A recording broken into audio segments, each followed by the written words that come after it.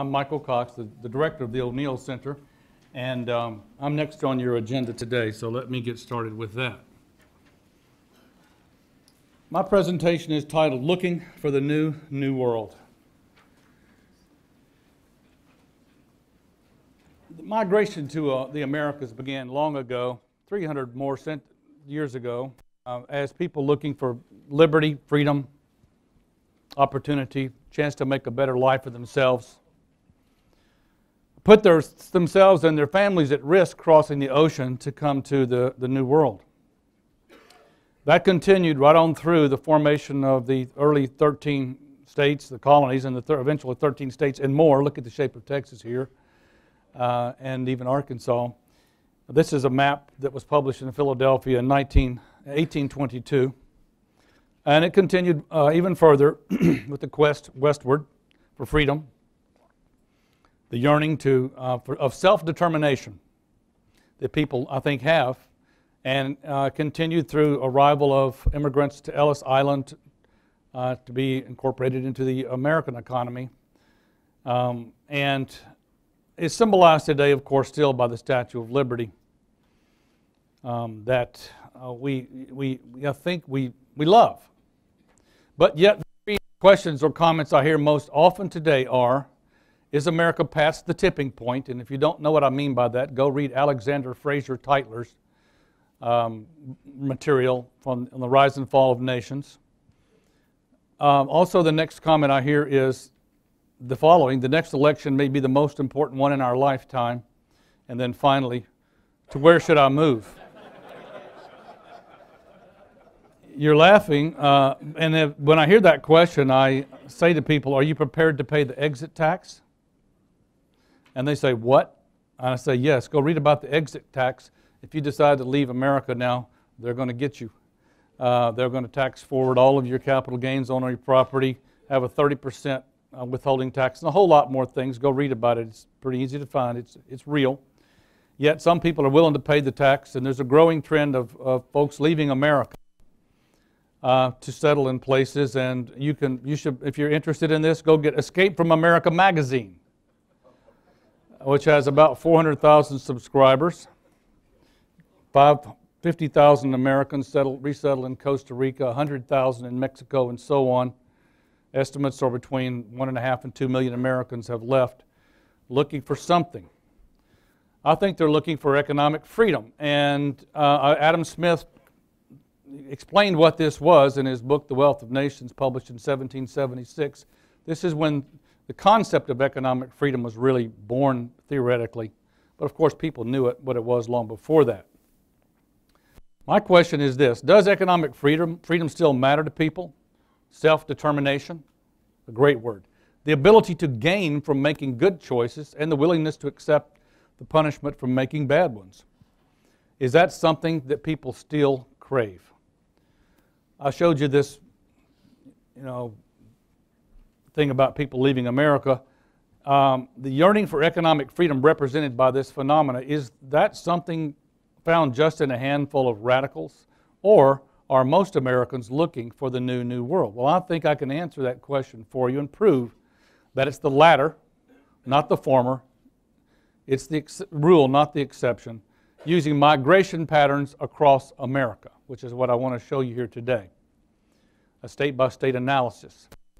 I was giving a presentation to Energy Future Holdings when the chairman, John Young, said to me, 200, Mike, did you know that 200 people move from California to Texas every day? And I thought, how does he know that? I promised I'd find out if it was true or not. It's, it's roughly correct. And I went and found the data at the IRS for migration patterns across America, state to state inflow of people, state to state outflow of people, over these four years, and you could even get it down to the county level, what county people are moving to from. So let's look at what that data shows. This is the total number of people who have moved from to Texas, number one on the list, Florida and North Carolina, so on, over the 2004 08 period. The blue line represents the number of people who moved inside America from one state to, to Texas, from states to Texas. The red is the foreign uh, folks moving from abroad, and the black line is the total. what state in America gets the most people annually? Texas. Who's second? Florida, then North Carolina, and Georgia. These are the top 15 states gaining people in America in, in, in absolute value. Who are the net losers? California, New York, Michigan, New Jersey, Illinois, and so on. Louisiana, you should really throw that out because that's during this period was Katrina. But the black line here again is the, is the net Im immigration with E out of California to the rest of the United States, to anywhere. And um, the blue would be the domestic citizens who left, and the, but there are, of course, immigration coming into California from abroad. So uh, California is losing a lot, New York and so on. Texas is gaining a lot. Where do the folks who come to Texas come from? Number one state, California. Number two, again, that's Katrina. We resettled that population, Louisiana. But then foreign, FR is foreign, coming from abroad, and then coming from Florida, Illinois, and so on. But number one, California on this list. And here's the top 15. Oh, there's only three states to which people move when they leave Texas. Eight people left Texas for Colorado.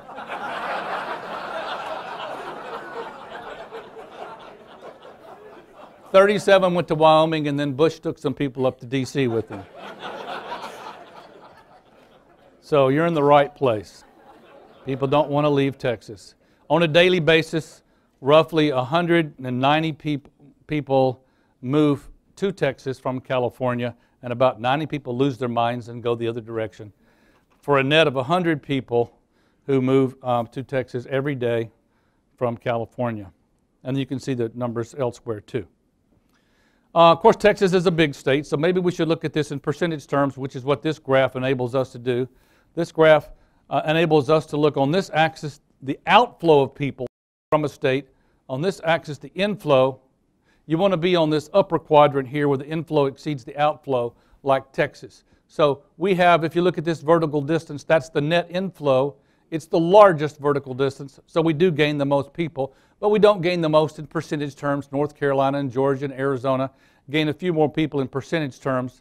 Uh, New York uh, loses the most people in percentage terms, and Michigan, California, the most in absolute value, if you're interested in looking at it that way.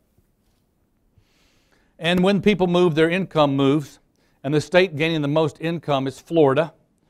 Texas is second. This is people retiring to Florida who might have earned a lot of income the, you know, the year before they moved, but since they're retiring, really that's not that much money going to Florida. Not much income. It might be wealth, but it's not income flows. They're not going to move there and start a new job. So probably Texas comes out on the top of this too.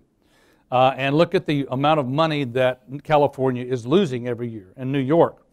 $19 billion flowing out of New York annually in terms of the income of the people who are leaving, about 17 for California. That's a huge loss, and the tax base, which is a huge loss in taxes, which of course is also therefore uh, a need for the state, if it doesn't start thinking right, to need to raise taxes on the remaining people uh, to continue to uh, pay all the bills and um, whatever else is going on in the states. You can't you can't help but believe that there's something more than just paying bills that's going on when you're spending that much money. And, and so it's an unstable equilibrium. Te Texas is on the good side of this, New York and California on the bad. So why do people move? I've looked um, at this. There was trying to figure out what people have said about this by going back to what the government has said about it. What does the government say? The census studies show about why people move. Well, they asked folks questions. They just did a survey. Hey, why did you move? And they basically found uh, with their, their questions weren't, I don't think, very thorough. They tended to fall in two categories non economic reasons, which I've kind of got here in blue, uh, economic reasons. The non economic reasons, or, or retired, I just want to move to a different location. I got married and needed to move, be with my spouse. Uh, health, climate, uh, go to school, whatever. And then there are the economic, re- less crime. And then there are the economic reasons. Um, I, need, I need a job. I want higher income. I want uh, to own a home and I can't afford it or just pay less for my housing. These there are more reasons than this, and I'm sitting down thinking about it and discussing with people and looking at it. Really, people move for jobs, they move for higher income, they move for schools, better schools for their children, they move uh, to reduce their living costs, to get away from crime, move to a safer area. They move because of the climate. They move want to be a part of a smaller community or a larger community. They might want to be not live in a big state like Texas or not. Um, they move for amenities, for fun, the mountains, the beach, whatever else people like for entertainment. They move for economic freedom and other things. So, if we look at these things, I need a variable that I can use to try to uh, uh, capture that effect. For jobs, I'm going to use the unemployment rate. I move to a state with a low unemployment rate for hope that I can get a job. I move to a state where uh, my wage and salary income will be larger. I moved to state for better schools as reflected in five schooling, five measures. Uh, we have five measures of where we can compare state by state in terms of the, how good their K through 12 schools are. I moved to for lower living costs. The problem with just living costs is that living costs includes taxes. So we need something which doesn't, such as the price of a home, um, home price index. I moved to get away from crime. For that, you can use the violent crime rate. I moved for um, to a better climate, which could be a hotter. People, people say we're moving to the Sun Belt. Well, the variable for that is average temperature. People say I'm moving to be a part of, uh, I want to live in a hot climate or a cold climate. I like winter or I like summer. Well, I can come up with a variable for that. And also for the temperature, I'm moving to get away from temperature variation, wide swings in the temperature, uh, such as Minnesota has. Amenities, how do you measure that? I like the beach, you like the mountains, I like the Rangers, you like the theater, you know, we like whatever it is people want. Well, the best thing I know to, to measure that is where do uh, international visitors go when they're traveling to American states but for pleasure. So we have data on that. We also have data on seven measures, eight measures of economic freedom. Here they are personal taxes, corporate income taxes, sales taxes, government consumption of, not investment, but spending on consumption goods, government employment, government transfers from the rich to the poor uh, that Dr. Williams was talking about, private sector union membership, and public sector union membership. And then maybe uh, population should be used as a control variable to see if states like Texas are gaining people only because they're big. Here's the answer. I've done significant, lots of work on this, and I can find six variables that are significant to people and their decision to move. Let me explain this.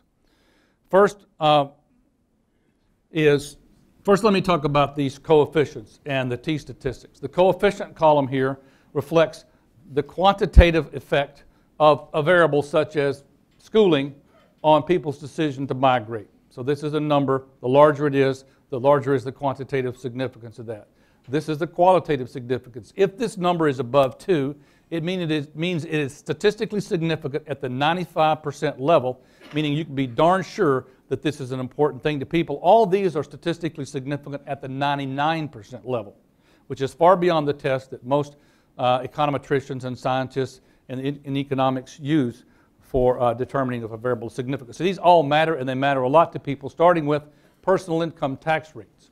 Second uh, is the percentage of la labor force that's unionized. Eighth grade proficiency in math and reading is the only uh, education variable that I can figure out people are keying on when they decide to move their kids from one place to another and the family. Um, the single family home price, affordable housing matters to people, and uh, the temperature, the swings in temperature uh, matter to people. And also, the state population matters. Uh, it's very close to zero in terms of its quantitative size, but it does matter. In other words, people don't, it, they'd rather not move to a big state, but it's not a big deal. Now, this, these five variables alone explain 70% of all of the movement in people across America. What the equation looks like if you plug those numbers in there, that migration is, depends on taxes, the um, percent of the state labor force that's unionized, private sector, housing costs, schools, temperature in Fahrenheit, and the state population. So I can use this equation to then predict how much people would move, what, to what states they'd move, on the basis of what, how those states fare in terms of their taxes and so on. How does Texas fare? How does the nation fare comparing these variables across the 50 states? Uh, Massachusetts has a 12% personal income tax rate. California, a 10.6% uh, one, Texas, zero. Very important. Union membership in the private sector. 27.5% of the private sector labor force in New York is unionized. In Texas, it's just 6.2%. we are one of a minority of states that has a, where the citizens have a right to work. The ones here in blue are ones where citizens have a right to work. The ones in kind of a tan are forced unionism states. So if you go back and you look at that bar again, you'll see that most of the states uh, that are, have no right to work, they're forced unionization states, have high union membership, and that's something that people don't want and companies don't want either. So they move their company and the people move looking for a job. Also, unionization rates, high unionization rates tend to be associated with high unemployment rates. Grade proficiency in math, we could do better. We're at the top of the bottom half. Uh, Texas schools, of course, all schools need improving.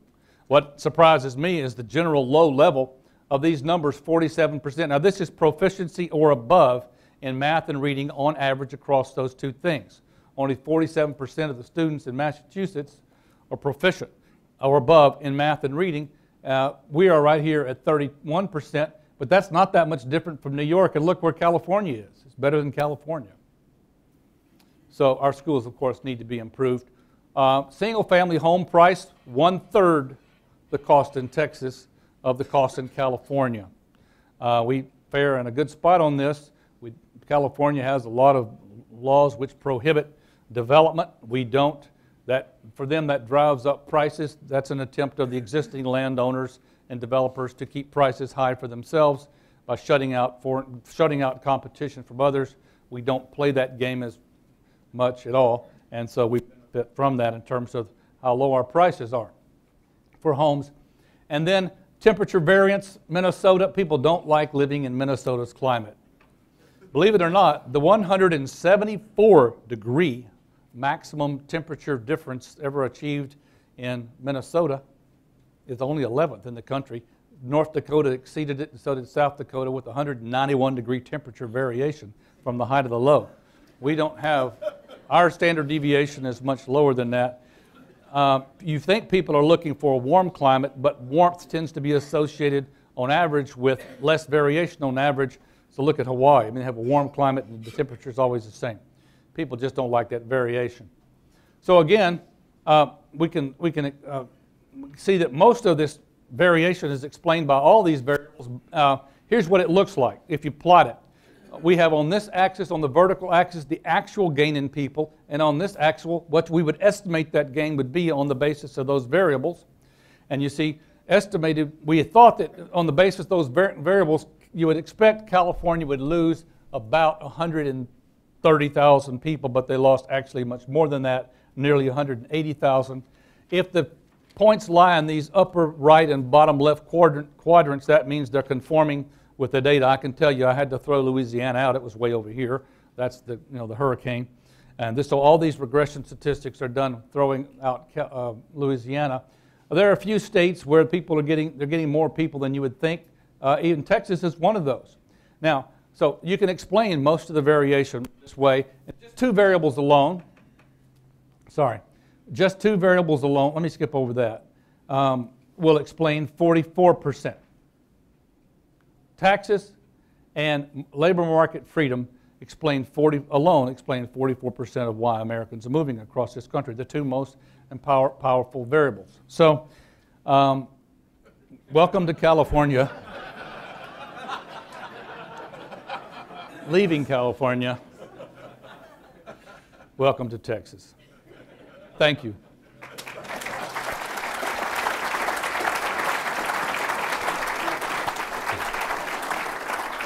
Let's, let me just stay on schedule here. What, I'm not making a phone call, I'm looking at my clock. Okay. What time, what, uh, we got about eight minutes or, or let, for fewer, for questions. I let you have time to think? I'm sorry. Yes, sir. Uh, the information you just provided, is it documented in a, in a paper or a pamphlet or something? I'm glad you asked that.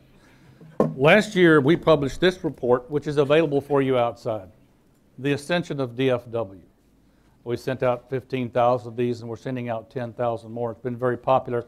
And uh, much of the information and more, uh, a little bit, I'd say, of the information I have is in here in terms of comparison of tax rates, all the labor union membership, and all that. And so this is really part one of a two-part uh, series. The second one will be published this year. Uh, It's the material I just went over, and it will be available oh, fairly soon.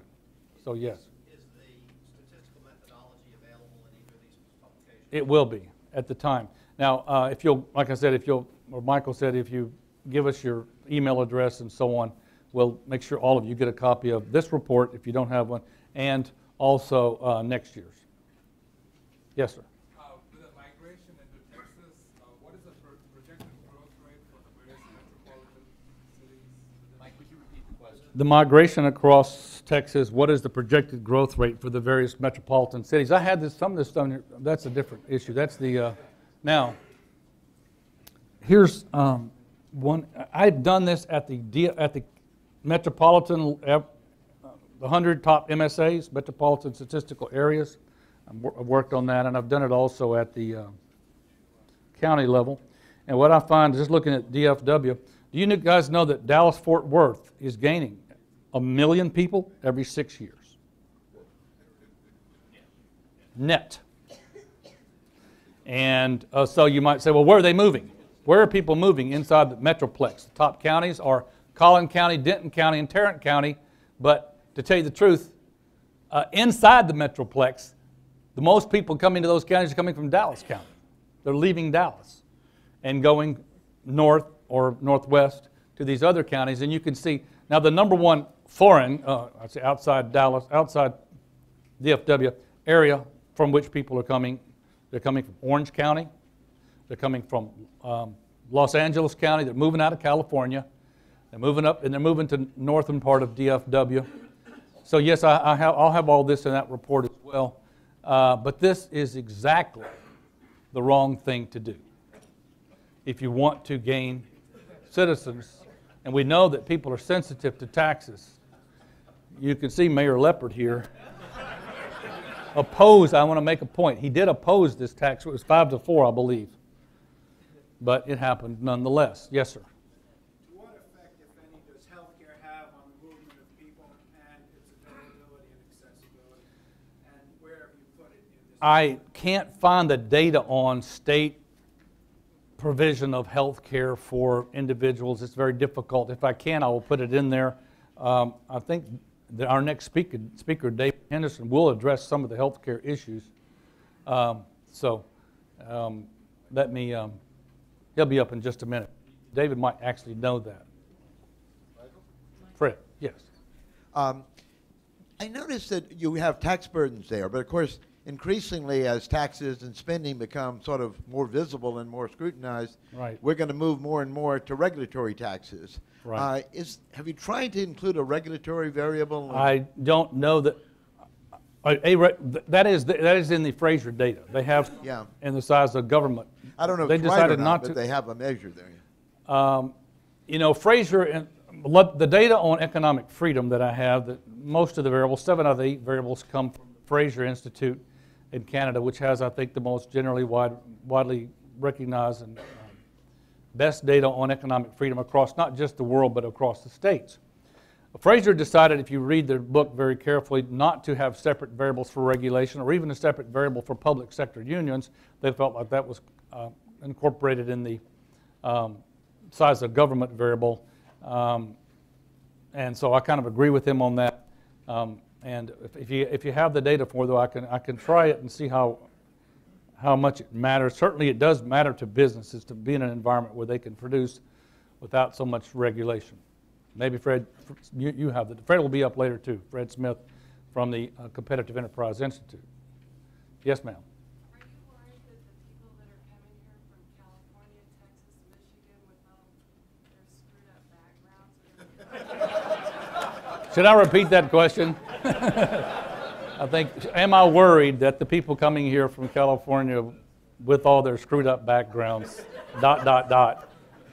Um, no, um, because I think they're like immigrants from the rest of the world. They- They're coming here from, for, for wanting something that they don't find, and, and they're, and they're bringing their families, and if they're willing to endure that, then they're probably um, going to behave much like my wife, who's from Ecuador, and she's uh, went from poverty to wealth, but with self-attained accomplishment, self-determination. Yes, sir.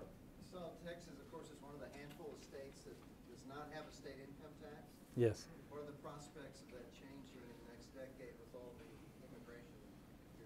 Texas is, I noticed that Texas is one of the states that does not have a state income tax. What are the prospects of that changing over the next few years with all the things that are happening in state legislature? That's the question. The answer is it's up to you and me. Um, uh, my job is to educate people as to how important this is, this variable is to states uh, like Texas gaining people. Obviously, it's very important. It's one of, one of the, if not, one of the most important variables. And so we just have to make sure that this, this thing, I think it's our state identity. No taxes, no income. It's why I moved here, fr- quite frankly, uh, to Texas 25 years ago. It's one of the two main areas. It wasn't for the beach, it wasn't for the mountains. What tends to happen in states that have beaches and mountains and a lot of other things is the government learns that they can use that as a uh, wedge for extracting rent from people. Oh, you like the beach and the mountains? I bet I could tax you a little bit and you'd still stay here. And they keep on raising taxes and they get used to raising taxes and they go past that threshold point. People say, no thanks, no more. And spe- especially if you have a good airport. I like to hike and I like to travel. Hey, I can get, I can fall asleep here, wake up in Tokyo, you know, on a plane and nonstop. That's important that we can earn our income here and then, you know, uh, take whatever else we want for our pleasure elsewhere.